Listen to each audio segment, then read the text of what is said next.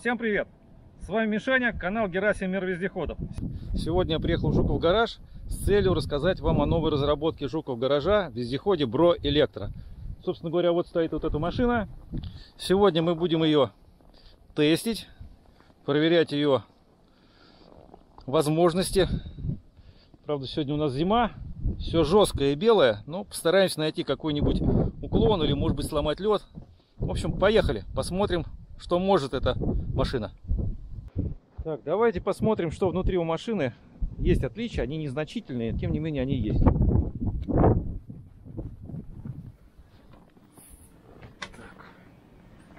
Первое, что бросается в глаза, это пространство между водителем и пассажиром. Это удобно. Дальше у нас есть ряд сидений, диван. Достаточно комфортный, удобный. Здесь у нас, несмотря на то, что кресло отодвинуто до конца назад, здесь есть место коленками, я в него не упираюсь. Так же, как стандартной комплектации имеется у нас крепление для груза. Вот такелажная рейка с обоих сторон они присутствуют. Шторки системы Молли. Здесь у нас двойные стекла на боковых на боковых э, окнах, сдвижных форточках. Здесь тоже двойное остекление. И передние боковые стекла тоже имеют двойное остекление. Потеть не должно. Штурвал со всей необходимой информацией. Скорость, напряжение, температура контроллеров, направление движения вездехода, передняя задняя передача.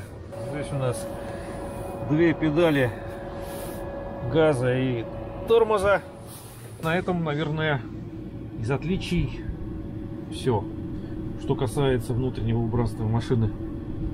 Ну что ж, сейчас я попробую проехать на вездеходе и сами все увидите, что будет происходить. Погнали. Помогать в управлении мне будет голос за кадром. Это Евгений, бессменный руководитель Жуков гаража. Значит, Мишань, для того, чтобы э, осуществить начало движения, все очень просто, как в автомобиле с автоматической коробкой передач. Выжимаем тормоз и включаем скорость рычажком вперед. Драйв. На мониторе у нас отображается стрелочка направления в зависимости от э, выбранного положения рычага. Э, мы смотрим, куда мы едем. Сейчас у нас стрелочка вперед. Хочу обратить внимание, что как только мы включили с вами э, скорость, то наш штурвал стал активным. Машина без нажатия на газ может э, поворачиваться вокруг своей оси. То есть, если нам где-то нужно подровняться или выставить свой поворот для движения вперед, мы это делаем без газа.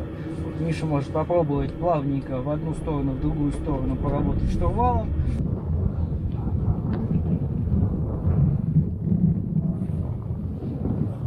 Мы сейчас наблюдаем, что вездеход у нас начинает двигаться э, вокруг своей оси, называемая контрротация на месте. Мы сейчас продемонстрировали, как работает у нас э, штурвал на месте, когда он активный. А сейчас, э, Миш, начинаешь движение, плавно нажимая на газ. Так. И выправляй, выбирай направление штурвалом. Все как на, на машине.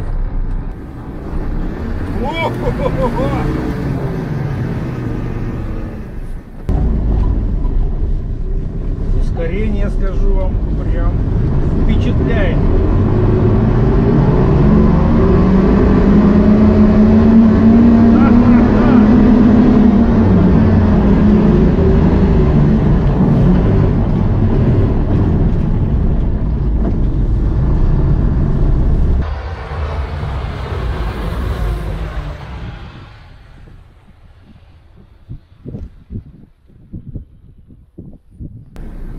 Очень точно управляется, разгоняется, надо сказать, ну у меня Элька так, Элька так не разгоняется, как он. С места дует только в путь. Ну, Простите да. за мои скудословные, скудослов, скудословные эмоции. но Это что-то, это что-то. Так. Скажем, движение осуществляется э, двумя движками, что придает ему такую лезвость. Два электродвижка японских проверенных стоять общей мощностью 210 лошадиных сил. Соответственно, такую прыть ему придает такая силовая установка. Каждый движок стоит на своем борту, э, что позволяет ему осуществлять контрротацию или плавный поворот. То есть в момент поворота у нас все четыре колеса гребут, просто одна сторона делает это медленно, чем другая. То есть момент у нас присутствует на всех четырех колесах.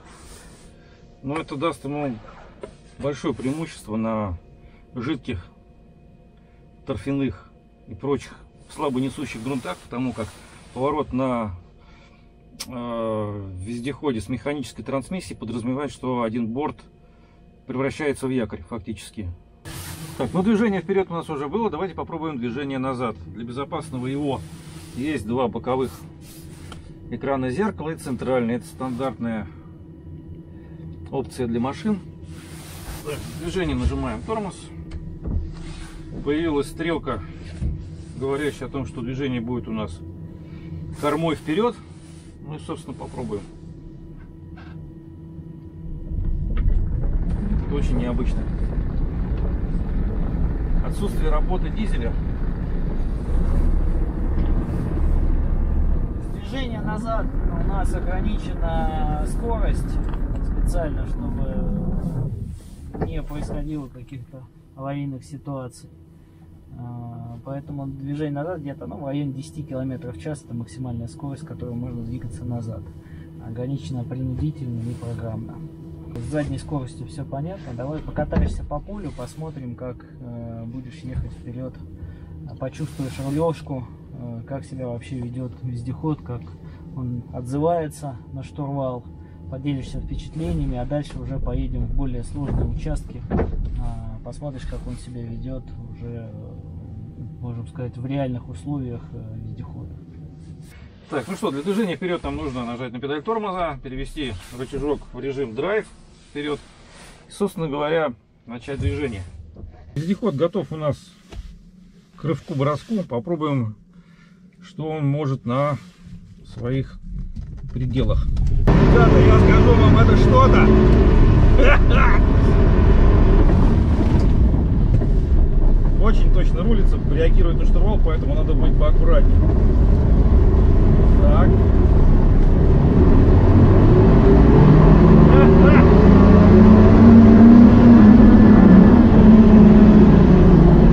Рулится очень плавно и точно.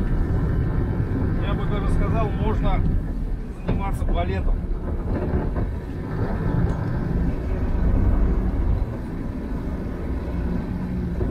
Все, что сделать на узкой дороге в лесу, где-нибудь между каких-то там пней или неудобных выездов. Все.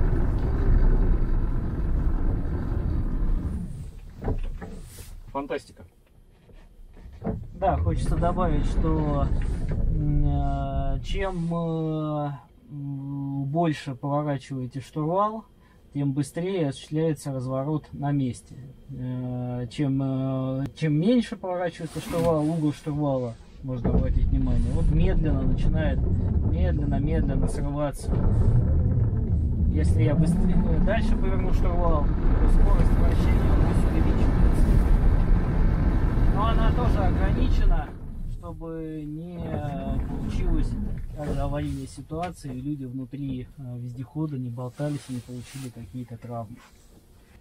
Тем, у кого слабый вестибулярный аппарат, не рекомендую баловаться, потому как, ну, будет морская болезнь. Поедем, посмотрим какие-нибудь горки, попробуем сломать лед. Ну, если получится выбраться оттуда.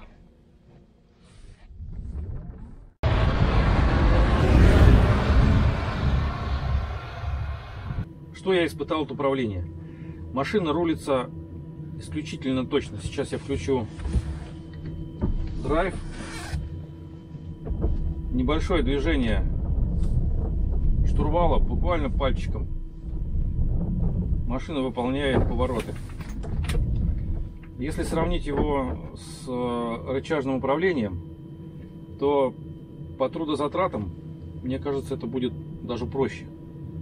На самом деле, для того, чтобы совершить некий маневр, не нужно прилагать никаких усилий. А, те, кто ездил на рычагах э, или там на штурвале, как это мы сделали, привыкли, что для того, чтобы у вас э, вездеход повернул в ту или иную сторону, у вас сначала идет легкое нажатие, это когда разжимается фрикцион путем гидравлики или электрики, а уже потом вы дотормаживаете его, применяя определенные усилия. Все зависит от конструктива. Здесь за вас это все делает электроника. Причем э, штурвал спроектирован так, что у него есть обратная связь. Вот если Миша сейчас попробует повернуть в одну или во вторую сторону, он почувствует, что Я он чувствую. сопротивляется. Я Соответственно, этим самым мы можем понять, э, что у вас под колесами в данный момент. То есть цепляется он за грунт, или он цепляется у вас за снег, или он на льду у вас проскальзывает. Э, какая нагрузка на вездеход в данный момент, тяжело ему или нет. Ну, как бы с дура можно сломать и все, если не обращать внимания на то, насколько тяжело технике в тех или иных условиях. Поэтому у нас э, мы чувствуем, что под колесами машины. И то же самое происходит в момент движения. Э, думаю, что Миша сейчас не очень успел это почувствовать. Но когда мы едем э, по дороге, по более жесткой дороге, мы чувствуем, условно говоря, ламели на резине. То есть э, руль дает нам обратную связь. Это тоже, скажем так, собственная разработка.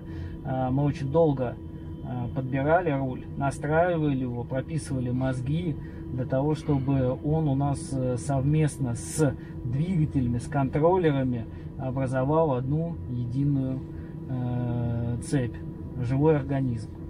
Э, поэтому это действительно будущее. Э, не хочется говорить там громких слов, но оно так и есть.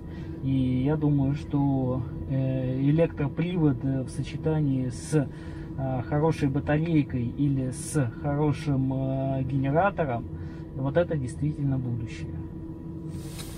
От себя хочу добавить, что управление вездеходом мне очень понравилось.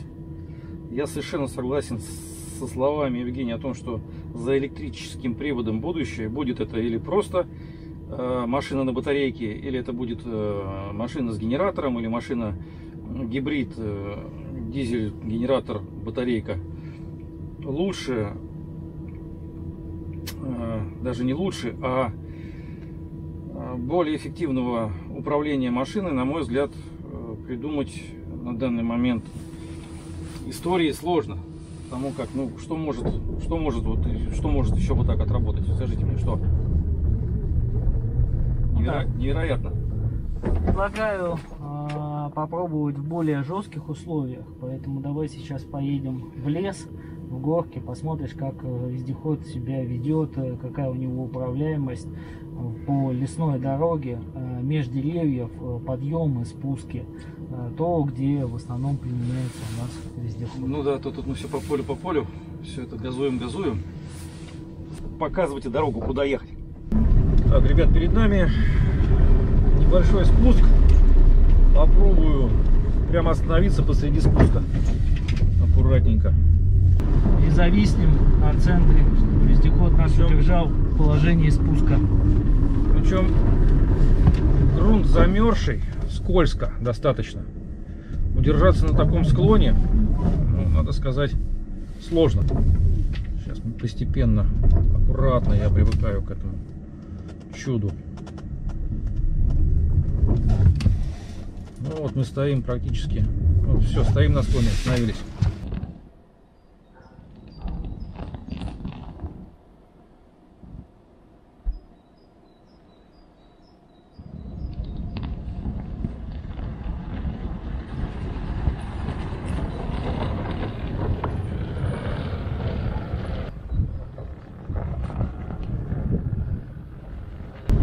Преодолеваем подъем.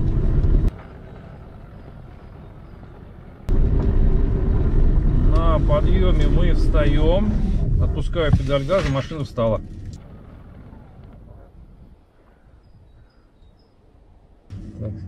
Ну вот я вижу, что сейчас у нас идет нагрузка на двигателе.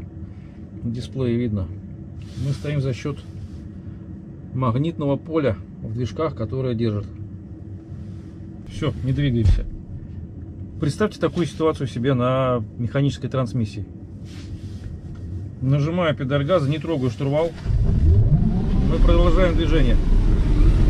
Подъем, надо сказать, в конце градусов 30, не меньше. Выход.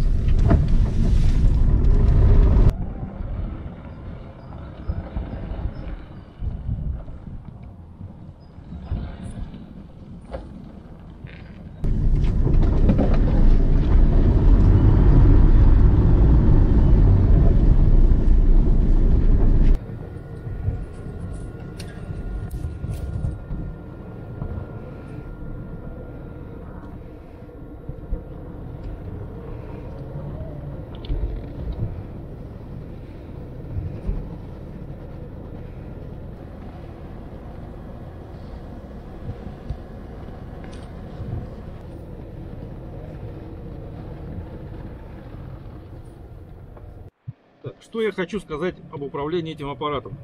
Опыта у меня немного минут 20, и тем не менее хочу сказать вам, ребята, что это новый уровень. Машины можно вымерять буквально миллиметры, сантиметры.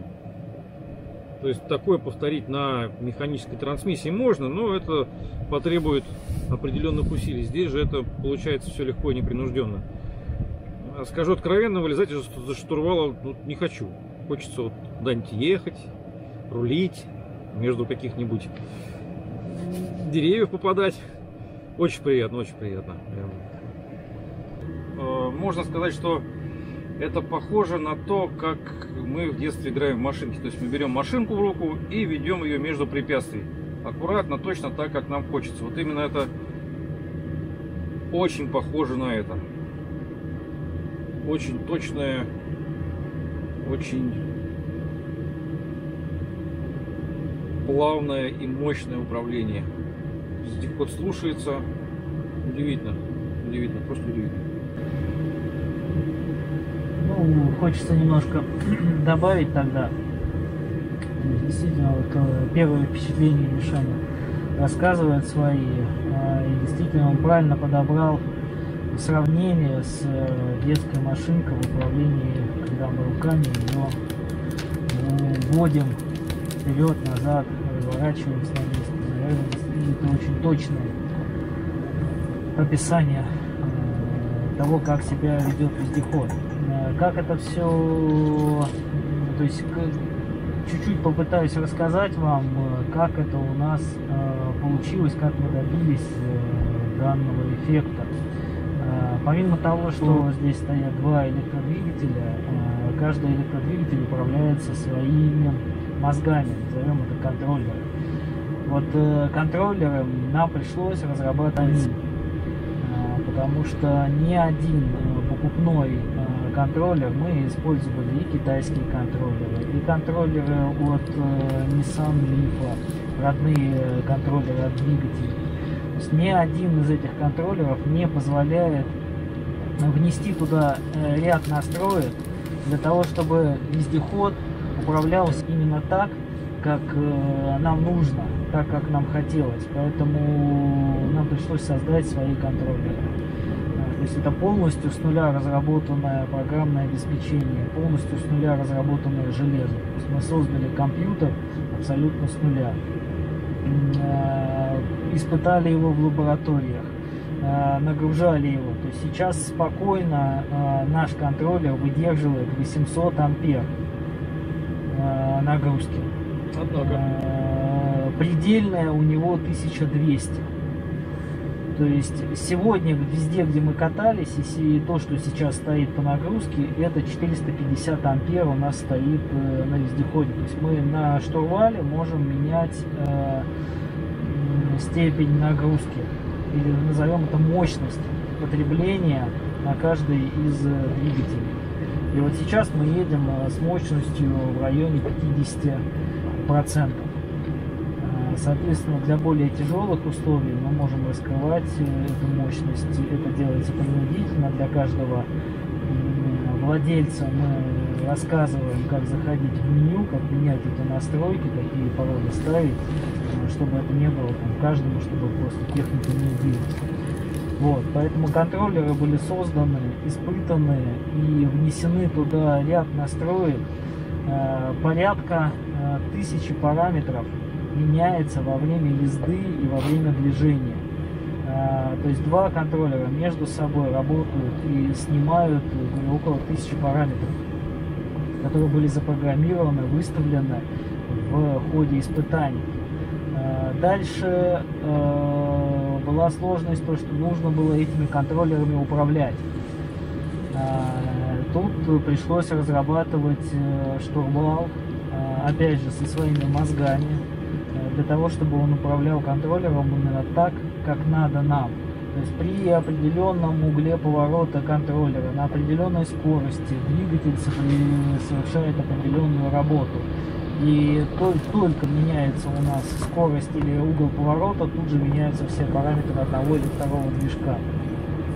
Э, вот пришлось создать и руль, и контроллеры, и монитор, на котором отображается вся эта информация, которую можно э, что-то менять, э, но в основном все все настройки зашиты достаточно глубоко и ограничены. То мы сейчас пришли к идеалу, который есть, это и ограничения по скорости, и ограничения по мощности, и ряд э, систем безопасности, которые отключают вам э, машину, ну, то есть уходят в ошибку и спокойно перезагружаются, то есть не дают вам э, спалить, взорвать э, или испортить э, вездеход в тех или иных условиях потому что как, допустим, на дизельной машине э, электромотор можно перегреть, э, контроллер можно перегреть, если идут колоссальные токи, колоссальное э, сопротивление.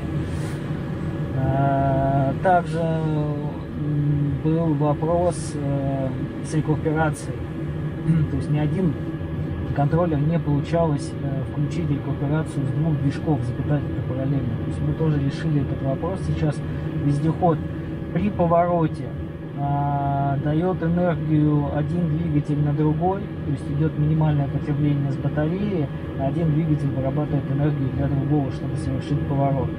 И полная рекуперация именно с зарядом батареи идет при спусках, когда начинается торможение двигателем. Или когда мы с большого разгона отпускаем педаль тормо э, газа, и у нас э, машина начинает по инерции тормозить, соответственно, э, в данном случае у нас идет заряд батареи.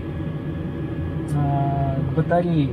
Батареи тоже пришлось э, делать на заказ, именно с теми характеристиками, с теми параметрами, которые нам нужны. То есть это габариты, в первую очередь, масса батареи, э, ячейки и емкость. В данном случае здесь 72 киловатт-часа у нас батарея, а, ориентировочный а, запас хода электрического вездехода от 5 часов.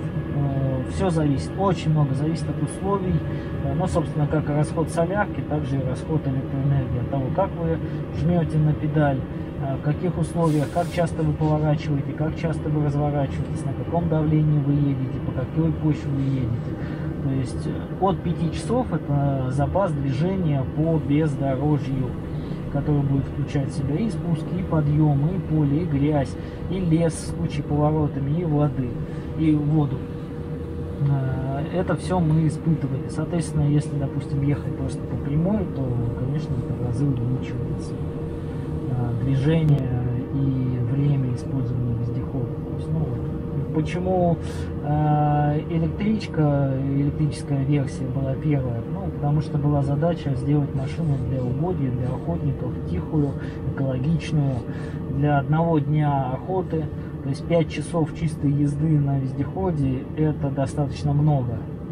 Миша не даст соврать, то есть через 4 часа после непрерывной езды ты вылезаешь уже никакой из вездехода. Ну, это зависит от условий, но если ну, лес и буреломы всякое разное попадается, да, 4 часа достаточно долго.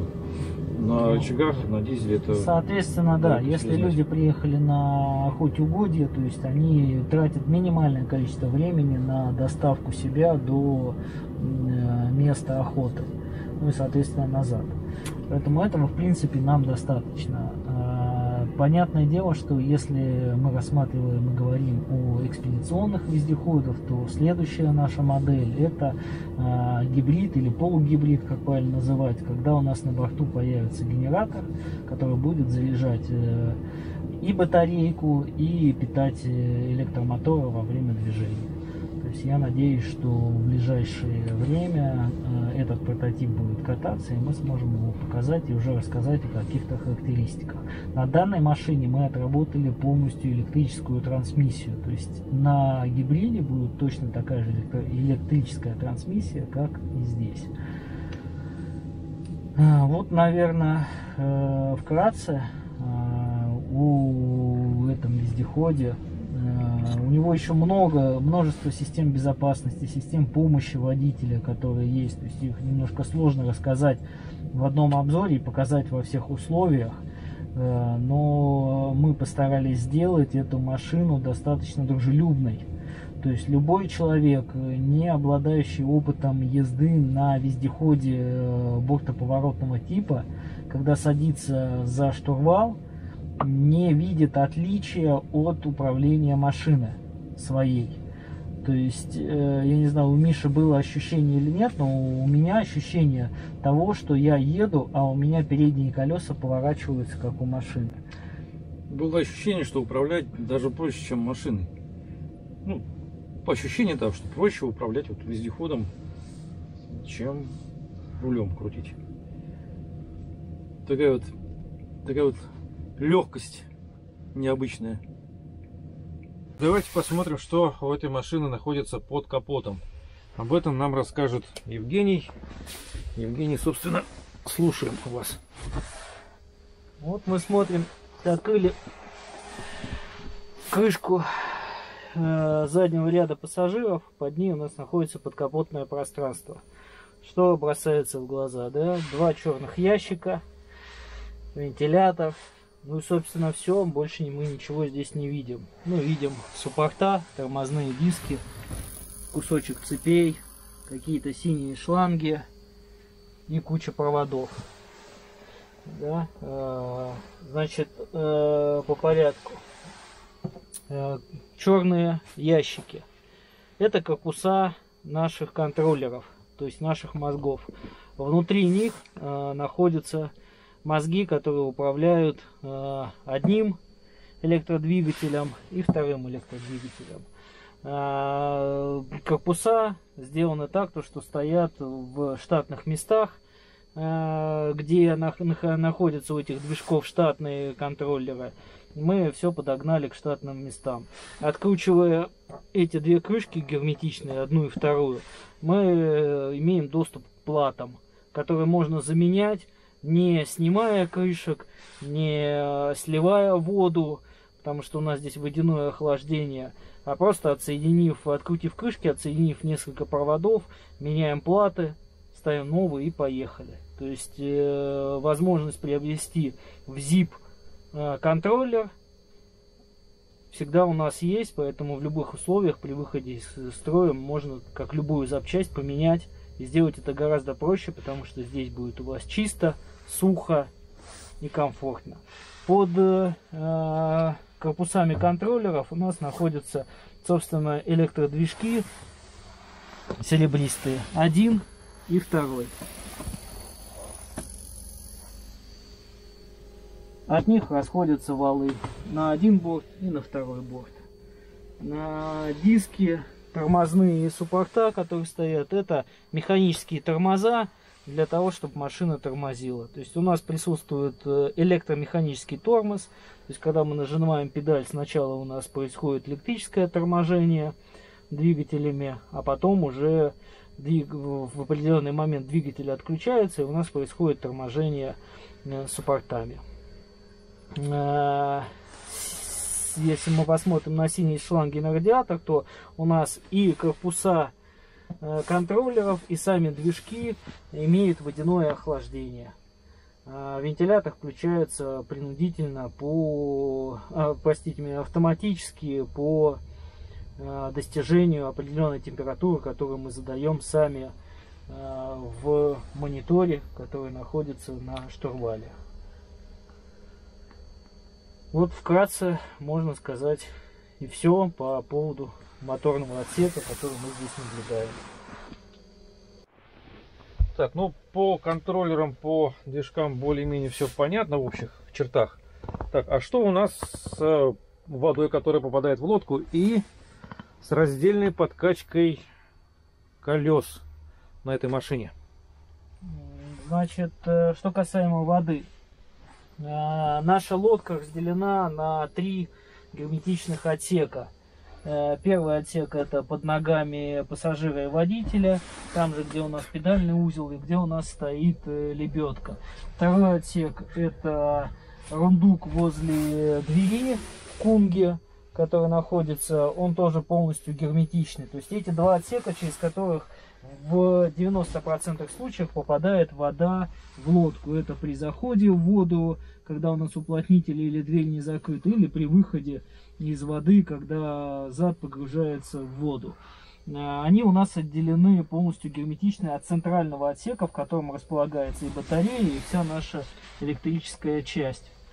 Э, соответственно, в центральном отсеке у нас установлена помпа для откачки воды.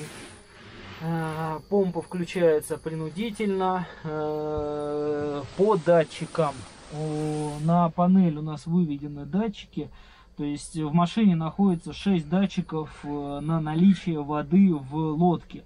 Первый датчик это в переднем отсеке, второй в заднем отсеке и 4 датчика находятся в центральном отсеке. То есть при срабатывании этого датчика мы либо останавливаемся, проверяем на наличие воды, либо включаем помпу. Это защита, э, скажем так, первая. Вторая защита. Все разъемы, все соединения, все э, вот эти самые крышки, э, э, соединение с двигателем, все это имеет защиту от воды и пыли. Сама батарейка полностью в герметичном корпусе. Поэтому чисто от попадания воды от затопления мы здесь с вами застрахованы механически. А электрически это еще заложено все в программах и в мозгах управления вездеходом, что при попадании воды или при критическом уровне воды э, у нас отрубается вся э, электроника и падает напряжение, пока мы не устраним протечку. Что касаемо подкачки, то можно наблюдать у нас здесь в вездеходе есть раздельная подкачка перед передней оси и задней оси э, электромеханическими клапанами. Соответственно, они включаются у нас принудительно с панели. Ну, я думаю, что это более чем исчерпывающий ответ. Вот, в принципе, э, по техническим всяким разным подробностям, наверное, на сегодня пока все. Что мы можем рассказать об этом вездеходе? К сожалению, все хорошее когда-нибудь заканчивается. Заканчиваются наши сегодняшние покатушки. Э, будем ждать теплого времени года. Хочется посмотреть на машину в других условиях. На этом у меня все. С вами был Мишаня, канал Герасим Мир Вездеходов. Всем хорошего настроения.